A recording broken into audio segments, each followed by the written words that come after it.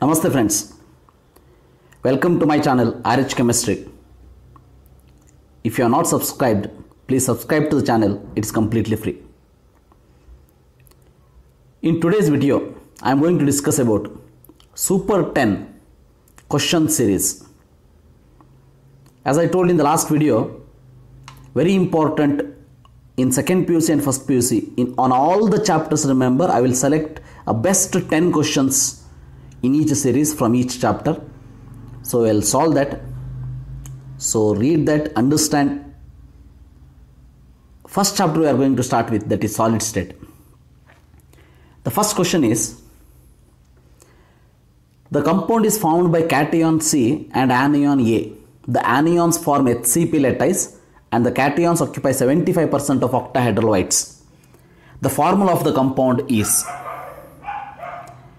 first one C2A3, second one C3A2, third one C3A4, fourth one C4A3.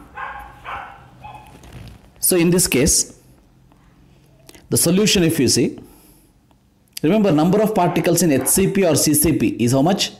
That is equal to 4, right?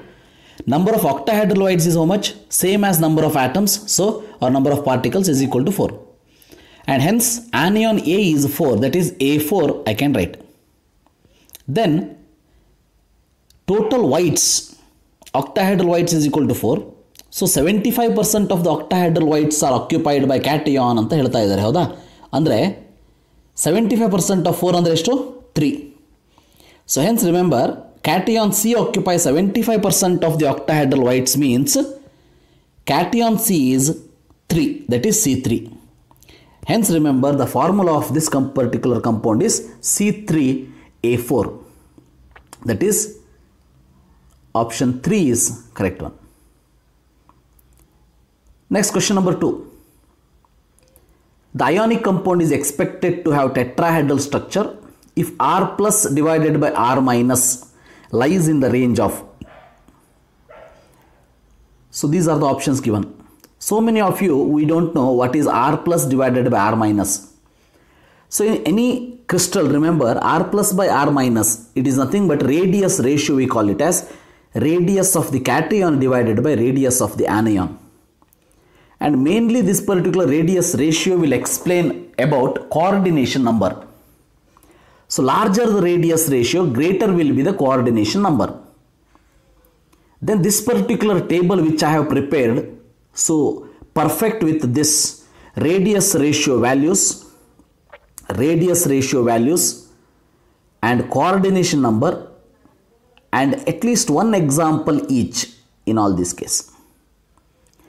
So here if you see among these, they have in this particular problem they are telling about tetrahedron right so tetrahedron they are telling about so hence in this case you can see 4 is the one tetrahedral coordination number and the answer is 0.2252 to 0.414 so the correct answer for this particular question is in this particular case that is option number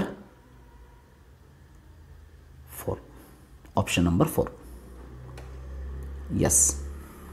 Now question number 3 volume occupied by a single CSCl ion pair is given the smallest CS-CS internuclear distance they are telling that it is equal to length of the sides of the cube corresponding to volume of one CSCl ion pair smallest CS to CS internuclear distance is nearly so option is given like this.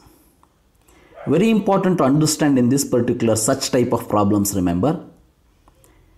So what is the meaning of CS to CS internuclear distance?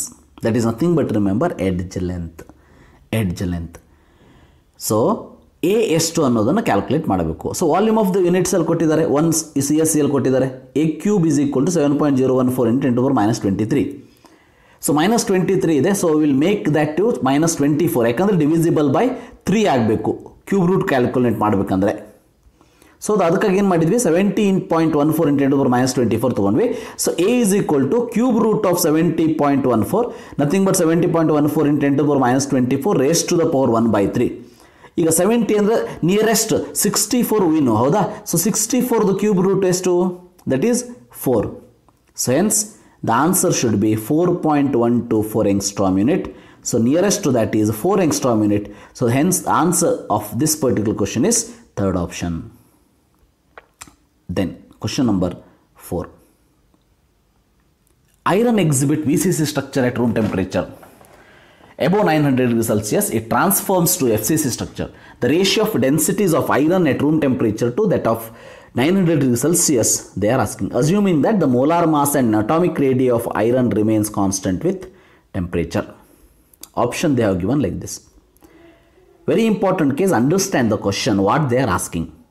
So they are asking the ratio of density of iron at room temperature to that of 900 degrees Celsius. Correct? So we know that for BCC Z is equal to 2. ಅಂದರೆ a ಏನಾಗ್ತದೆ a is equal to four r by root three ಇದನ್ನು ನೆನ್ಪಿಟ್ಕೊಳ್ಬೇಕು so for F C C Z equal four ಹೌದಾ so a is equal to ಏನಾಗ್ತದೆ so two root two r then d density of twenty five degree Celsius divide by density of nine hundred degree Celsius density formula ಏನಿದೆ Z M divided by a cube into N A of B C C divided by Z M divided by a cube into N A of F C C so ratio they are asking so you have taken ratio ratio ತೊಗೊಂಡ್ಮೇಲೆ ಅದನ್ನು substitute ಮಾಡಿ ಈಗ Z M so here Z two for B C C four for F C C ಹೌದಾ? so four for F C C in this particular case hence remember I have taken two divided by four in this case then two root two or divided by four or by root three to the power cube why we have taken this remember here M and N A both are constant ಹೌದಾ molar mass atomic ರೇಡಿಯ ಎರಡೂ constant ಅಂತ ಅಂದಮೇಲೆ so R ಅಂತೂ constant ಅಂತ ಆಯಿತು cancel ಆಗಿಬಿಡ್ತದೆ so ಇಲ್ಲಿ M ಕೂಡ ಕಾನ್ಸ್ಟೆಂಟ್ ಇದೆ so hence remember you are going to get in this particular case three root three divide by four root two so ಇದನ್ನು ಸಿಂಪ್ಲಿಫೈ ಮಾಡಿ complete you simplify this you are going to get this particular answer so hence the correct answer in this particular case is three root three divide by four root two then Question number 5. So question number 5 is correct statement regarding defects in crystalline solid is. So they have given four option like this. Now you can see first option what they have given Frenkel defect is found in halides of alkali metals. Then you have to think about that. ಈ ರೀತಿ ನಾಲ್ಕು statement ಕೊಟ್ಟಾಗ ಯಾವಾಗಲೂ ಒಂದು statement ಆದಮೇಲೆ ಇನ್ನೊಂದು statement ಬಗ್ಗೆ ಸ್ವಲ್ಪ ಅನಲೈಸ್ ಮಾಡ್ತಾ ಹೋಗ್ರಿ ಸೊ ಆನ್ಸರ್ ತಾನೇ ಸಿಗ್ಬಿಡ್ತದೆ ಈಗ Frenkel defect is found in halides of alkali metals ಅಂತ ಹೇಳ್ತಾರೆ, ಹೌದಾ? ಆದರೆ example for the Frenkel defect ಏನಿದೆ? ನಾವು ನೋಡಿರೋ ಹಾಗೆ ಎ ಜಿ ಸಿ ಎಲ್ ಇದೆ ಜೆಡ್ ಎನ್ ಎಸ್ ಇದೆ ಎ ಜಿ ಬಿ ಆರ್ ಇದೆ ಎ ಜಿ ಐ ಇದೆ, ಇವೆಲ್ಲ ಏನಿದು? These are found in the halides of silver alkali metals ಅಲ್ಲ ಅದು ಡಿ ಬ್ಲಾಕ್ ಎಲಿಮೆಂಟ್ ಹೌದಾ? Or sulphide of the zinc hence first statement is incorrect ಆಯಿತು second statement Schottky defect have no effect on the density they are telling right? So definitely remember Schottky defect have it will change the density of the in crystal. So it will decrease the density. So hence second option is also incorrect. Frenkel defect decreases density is there so Frenkel defect has no effect on the density. So third option is also not the answer. But fourth one Frenkel defect is a dislocation defect. We know that in case of the Frenkel defect so smaller cation it is dislocated from its original site to the interstitial sites. So hence the answer for this particular question is fourth one. This is about defects in the crystalline solid. Then question number 6. In calcium fluoride having fluorite structure, the coordination numbers of calcium ion and fluoride ion are. The option is given like this. Very important type of question. So many students they don't know what is this fluorite structure. Hence I will tell you in detail and also I will give you some important additional information on this particular question. Mark this question very important question remember for NEET or CET exam having the fluorite structure ಅಂತ ಹೇಳ್ತಾರೆ ಹೌದಾ ಹಾಗಾದ್ರೆ fluorite structure ಅಂದ್ರೇನು ಅಂತ ಗೊತ್ತಿರಬೇಕು fluorite structure ಅಂತಂದರೆ remember it has arrangement in which C A two plus ions form F C C and F minus ions present in the tetrahedral whites. Very important, remember it has arrangement in which Ca2 plus ions form FCC. F minus ions from present in tetrahedral whites. With each Ca2 plus surrounded by how many F ions? 8 F minus ions and each F minus ion surrounded by how many? 4 Ca2 plus ion. To understand this structure, we will take the structure like this. Now you can see this calcium ions, the larger circle that you can see eight numbers are there ಅಂದರೆ F C C ಅಂದರೆ number of particle is four ಹೌದಾ? Four ಅಂದರೆ tetrahedral voids ಎಷ್ಟಿರ್ತದೆ? Into two ಇರ್ತದೆ. ಅಂದರೆ ಎಂಟು tetrahedral voids ಇದೆ. ಎಂಟು ಟೆಟ್ರಾಹೈಡ್ರಲ್ ವೈಟ್ಸಲ್ಲಿ ಅದು ಪ್ರೆಸೆಂಟ್ ಇದೆ. ಹಾಗಾದರೆ ಕೋಆರ್ಡಿನೇಷನ್ ನಂಬರ್ ಏನಪ್ಪ ಅಂತಂದರೆ C A two plus a coordination number eight ಯಾಕಂದರೆ C A two plus each C A two plus surrounded by eight F minus but F minus a coordination number four ಆಗ್ತದೆ. ಯಾಕಂದ್ರೆ three dimensionally remember each F minus ion surrounded by four C A two plus ion ಇದನ್ನು three D structure I have shown like this so this this is about fluoride structure. So the answer for this particular question is 8 and 4. ಈ ಕ್ವಶನಿಗಂತೂ answer ಗೊತ್ತಾಯಿತು. Remember these are the things we have to remember there is no other way ನೀವು ಬಾಯಾಟ ಮಾಡ್ತಿರೋ, ಏನು ಮಾಡ್ತಿರೋ ಅದು ನಿಮಗೆ ಬಿಟ್ಟಿದ್ದು. But you have to remember these things then in this particular case I will give you some more information about this remember there are five types of structures like this ಎಷ್ಟು? ಐದು ಟೈಪ್ ಸ್ಟ್ರಕ್ಚರ್ ಇದೆ. ಈ previous ಸ್ಲೈಡಲ್ಲಿ ನಾನು fluoride structure ತೋರಿಸಿದ್ದೀನಿ ಅನ್ನೋದಕ್ಕೆ ಇಲ್ಲಿ ಅದನ್ನು add ಮಾಡಿಲ್ಲ. First one is remember rock salt type of structure where rock salt type of structure ಅಂತ ಗೊತ್ತದ ನಮಗೆ? It as F C C arrangement ಹೌದಾ? In which C L minus occupies the corners C L minus ನೋಡ್ರಿ. C L minus ions occupies the corners and face centres of a cube corner ಮತ್ತು face ಸೆಂಟರಲ್ಲಿ ಇದೆ. ಹೌದಾ? Then N A plus ions presented the body and edge centre here N A plus ion presented the body and the edge centre that is ಇಲ್ಲಿ green ಏನು ಕಾಣಿಸ್ತಾ ಇದೆ? ಅದು N A plus.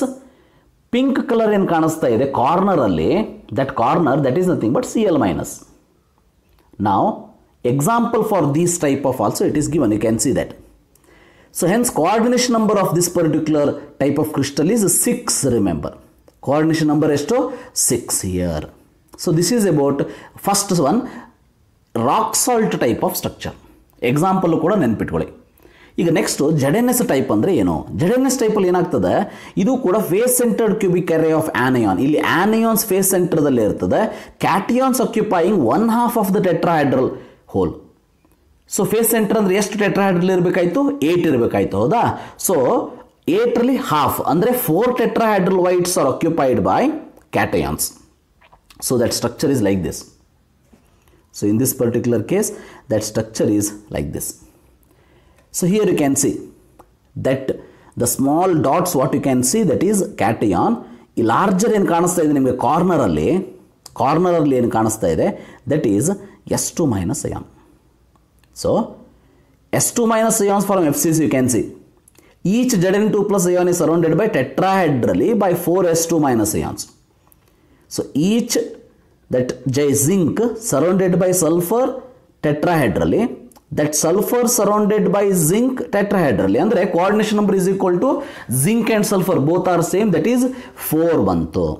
ನೆನ್ಪಿಟ್ಕೊಳ್ಳಿ very important third one antifluoride type of structure antifluorides type of ಸ್ಟ್ರಕ್ಚರಲ್ಲಿ ಇದು completely reverse of fluoride structure so ಅದರಲ್ಲಿ cations form cubic close packing ಅಂತ ಹೇಳಿದ್ವಿ. But here anions forming cubic close packing structure so all the cations fill fit in all tetrahedral holes so the structure will be like this remember so here that green colour what you can see that is anions that black colour what you can see that is cation sodium so that so that each positive ion is surrounded by four negative ions each positive ion that is sodium plus surrounded by four negative ions ಅಂದರೆ N A two ಒಂದು ಎಕ್ಸಾಂಪಲ್ನ ಹೇಳಿದ್ದೀವಿ ಇಲ್ಲಿ ಅಷ್ಟೇ And each negative ion is surrounded by eight positive ions so ಅದರಲ್ಲಿ completely reverse ಆಗಿತ್ತು ನೋಡ್ರಿ ಪಾಸಿಟಿವ್ದು fluoride ಸ್ಟ್ರಕ್ಚರಲ್ಲಿ positive was eight and negative was four but here positive is 4 and negative is 8 remember that Then cesium chloride structure, very simple structure. That is BCC structure. So that CS plus is at the center and Cl minus is at the corner.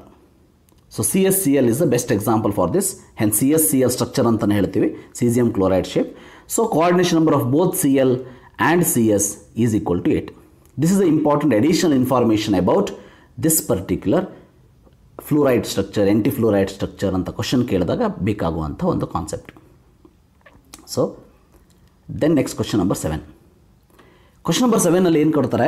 Compound form by M G L and oxygen is found to have cubic close array of oxide ions ಅಂದ್ರೆ oxides are present in the cubic close packing structure M G two plus present in the one eighth of the tetrahedral voids A L three plus present in the half of the octahedral voids the formula of the compound is so M G L O M G L four O two M G two A L two M G two L three O O two M G L two O four ಈಗ ನಾವು check ಮಾಡ್ತಾ ಹೋಗೋಣಂತೆ. So ಅವ್ರೇನು ಹೇಳ್ತಾ ಇದ್ದಾರೆ ಅದನ್ನು ನೋಡಿ. So remember first they have telling cubic close packing structure ಹೌದಾ? Cubic close packing structure ಅಂತಂದರೆ ನಂಬರ್ ಆಫ್ ಪಾರ್ಟಿಕಲ್ಸ್ ಎಷ್ಟು? ಫೋರ್ ಇರ್ತದೆ. What they are telling M G two plus is occupying one eight of the tetrahedral voids remember octahedral voids and tetrahedral voids how many it will be there so octahedral voids are number of 4 the same number it will be there, that is 4 tetrahedral voids are 8 ಯಾಕಂದರೆ four is the number of particle tetrahedral voids are two into number of particle ಅದಕ್ಕೆ eight ಹೌದಾ? ಈಗ what they are telling M G two plus are occupying one eighth of the voids ಅಂದ್ರೆ meaning ಏನು? M G two plus present is equal to one one M G two plus present ಅಂತ meaning ಯಾಕಂದರೆ in this particular case tetrahedral voids are there one eight ಅಂತಂದ್ರೆ one tetrahedral voids ಅದನ್ನು L three plus ಏನು ಹೇಳ್ತಾರೆ? L three plus occupying half of the octahedral voids so half of the octahedral octahedral ಇರೋದು ಎಷ್ಟು? Four half of the octahedral ಅಂದ್ರೆ ಏನು? A L two so A L three plus ಎಷ್ಟಿದೆ? Two ಇದೆ. Then oxygen ಹೇಗೆ present ಇದೆ? Cubic close are of oxide ions ಅಂದರೆ oxide ions are present is equal to four ಯಾಕಂದರೆ C C ಪಿಯಲ್ಲಿ number of atoms present is how many four so oxide ions are four ಈಗ ಮೂರನ್ನು ಸೇರಿಸಿ formula ಬರೀರಿ. M G L two O four ಅಂತ ಬಂತು, ಹೌದಾ? So this should be the answer for this question So hence the answer for this question is fourth one. The next eighth question. In case of the question number 8, the unit cell with crystallographic dimensions A is not equal to B is not equal to C, alpha is equal to gamma is equal to 90 degree and beta is not equal to 90 degree is. Remember they have given the option like this. Very important thing, once again I will give you a table, that table you have to remember, there is no other way. Monoclinic, tetragonal triclinic orthorhombic ಅಂತ ಕೊಟ್ಟಿದ್ದಾರೆ. ಹೌದಾ? So what is answer to tell that answer remember you need to remember this particular table which is there in the N C R T ಅಲ್ಲಿಂದ ನಾನು ಡೈರೆಕ್ಟಾಗಿ ತೊಗೊಂಡಿದ್ದೀನಿ ನಾನು. So cubic tetragonal orthorhombic hexagonal rhombohedral or trigonal monoclinic triclinic these are the seven main crystal system from which fourteen Bravais lattices you are going to get axes distance are edge length edge length ಕೊಟ್ಟಿದ್ದಾರೆ ನೋಡಿ. A is not equal to B is not equal to C like that axial bond angle axial angle ಕೊಟ್ಟಿದ್ದಾರೆ. ಅಂದರೆ facial ಆ್ಯಂಗಲ್ನ ಕೊಟ್ಟಿದ್ದಾರೆ. Alpha beta ಗಾಮ ಹೌದಾ? So ಇದನ್ನು ನೆನ್ಪಿಟ್ಟುಕೊಳ್ಳೇಬೇಕು ಹಾಗಾದರೆ how to remember these seven crystal systems there is a trick remember for that I have made another very small video so next video you can see in that I have told how to remember the seven crystal system a very simple trick So you can remember by using that trick all the seven crystal system and any type of question on this particular concept you can easily tell the answer. So hence ನಮಗೆ ಬೇಕಾಗಿರೋದು ಯಾವುದಿಲ್ಲಿ monoclinic so A is not equal to B is not equal to C alpha and gamma is equal to ninety degree and beta is not equal to ninety degree so hence the answer for this particular question is monoclinic yes next question number nine Ninth ಕ್ವಶನಲ್ಲಿ metal crystallise in F C C lattice ಅಂತ ಹೇಳ್ತಾರೆ the edge length of the unit cell is given the diameter of the metal atom is ಇಲ್ಲಿ important is to understand the question diameter ಅಂದ್ರೆ ಏನು? A A ಹೌದಾ? ಅಲ್ಲ. A is not a diameter remember R is radius diameter ಏನಾಗ್ತದೆ ಆಟಮ್ದು two R two into radius is equal to diameter so the option is given like this ನಾವು how to solve such type of question ಈಗೇನು ಹೇಳಿದ್ದಾರೆ F C C ಅಂತ ಹೇಳಿದ್ದಾರೆ ಹೌದಾ? So diameter ಅಂತಂದರೆ two R ಅಂತ ಹೇಳಿದೆ ನಾನು. ಎಫ್ ಸಿ ಸಿಗೆ in case of the F C C lattice what is A is equal to formula A and R relationship ಏನಿದೆ? A is equal to four R by root two R two root two R ಅಂತ ಇದೆ, ಹೌದಾ? So next ಹಾಗಾದ್ರೆ R is equal to calculate ಮಾಡಬೇಕು. R is equal to A divide by two root two ಆಯಿತು. Four zero eight divide by two point eight so four zero eight add by two point eight ಮಾಡಿದರೆ ಎಷ್ಟು ಬರ್ತದೆ? Almost one forty four picometre you are going to get so ಇದು R one forty four into two you have to make to get the answer so diameter of the metal atom is two eighty eight picometre so ಇಂಥ question ಕೊಟ್ಟಾಗ ಅರ್ಥ ಮಾಡ್ಕೊಳ್ಳೋದು ಬಹಳ important edge length ಅಂದ್ರೇನು internuclear distance ಅಂದ್ರೇನು diameter ಅಂದ್ರೇನು radius ಅಂದ್ರೇನು all these things that is two eighty eight picometre is the correct answer Next, last question in this super 10 series. Experimentally, it was found that metal oxide have formula 0.m0.98 oxide. Metal M is present as M2 plus and M3 plus ions in its oxides. Fraction of the metal which exists as M3 plus would be. So the option is given like this. So in this particular case, experimentally it was found that the option is given. ಹೌದಾ ಸೊ ನಾವು how to solve this I will tell you in pure F E O F E two plus ಮತ್ತು O two minus ratio ಏನಿದೆ that is one is to one one is to one ಹೌದಾ? But number of F E two plus present is mini zero point nine eight ಅಂತ ಹೇಳ್ತಾರೆ ಅವರು. ಅಂದರೆ, ಅವ್ರ number of F E two plus ion missing ಅಂದರೆ ಎಷ್ಟು? Zero point nine eight present ಇದೆ ಅಂದರೆ ಮಿಸ್ಸಿಂಗ್ ಎಷ್ಟು? Zero point zero two very good since each F E two plus ion ಕರೆಕ್ಟಾಗಿ ನೋಡ್ರಿ. Since each F E two plus ion has two plus charge the total number of charge due to missing of zero point zero two F E two plus ion is zero point zero four each F E two plus ion ಅಂದರೆ ಎರಡು two plus charge ಇದೆ, ಹೌದಾ? Number of charge due to missing of zero point zero two is into two ಮಾಡಬೇಕು so zero point zero four ಅಂದರೆ to maintain electrical neutrality zero point zero four positive charge is by the presence of F E three plus ions ಆ electrical ನ್ಯೂಟ್ರಾಲಿಟಿಯನ್ನು maintain ಮಾಡಬೇಕು ಅಂದರೆ zero point zero four positive charge ಏನಿದೆ, ಅದನ್ನು compensated by presence of F E three plus ions ಆಗಬೇಕು, ಹೌದಾ? ನಾವು since replacement of one F E two plus by one F E three plus create one positive charge ಒಂದು F E two plus ಅನ್ನು ಒಂದು F E three plus replace ಮಾಡಿದರೆ ಎಷ್ಟು positive charge ಬರ್ತದೆ? ಒಂದು ಪಾಸಿಟಿವ್ ಚಾರ್ಜ್ ಬರ್ತದೆ. ಅಂದ್ರೆ ನಮಗೆ zero point zero four positive charge compensate ಆಗಬೇಕು ಅಂದರೆ ಎಷ್ಟು F E three plus ion ತಗೋಬೇಕಾಗಾದ್ರೆ? Zero point zero four F E three plus ion ಅನ್ನು ತಗೋಬೇಕಾಗ್ತದೆ. So in short I tell I will tell you zero point nine eight F E two plus ions have zero point zero four F E three plus ions to neutralise the charge For 100 Fe2 plus ions, how many? That is equal to cross multiply. You will get the answer 4.08%. What is the answer? 4.08%. So the answer for this question is 4.08%. These are the 10 questions I have explained. In the next video, I am going to take first PUC, first chapter, some basic concepts in chemistry. Till then, the answer is 4.08. So till then, thank you for watching. Like the video, share the video and subscribe. Thank you. Have a nice day.